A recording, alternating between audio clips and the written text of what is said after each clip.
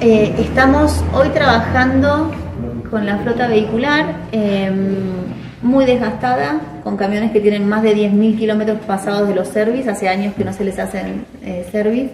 Hoy estamos eh, trabajando con service de cada uno de, las, de, los camiones, eh, que tiene que ver con aceite hidráulico, aceite de motor, uria que necesitan y poder hacer recambio de filtros. Pero bueno, vamos tratando de, eh, de, tener, sacar un camión para hacer el service. No podemos trabajar con los seis camiones en simultáneo porque no podríamos recolectar. Entonces, esto tiene que hacerse de modo progresivo. Pero bueno, estamos trabajando, trabajando en eso para poder seguir brindando el servicio, pero a su vez poder levantar la flota vehicular.